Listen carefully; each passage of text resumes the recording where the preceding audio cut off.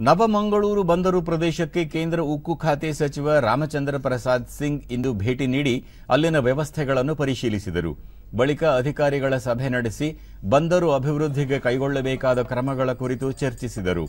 ಇದಕ್ಕೂ ಮುನ್ನ ನಿನ್ನೆ ಮಂಗಳೂರಿನ ಕೆಐಒಸಿಎಲ್ ಟೌನ್ಶಿಪ್ನಲ್ಲಿ ವಸತಿ ಸಂಕೀರ್ಣಕ್ಕೆ ಅವರು ಶಿಲಾನ್ಯಾಸ ನೆರವೇರಿಸಿದ್ದರು.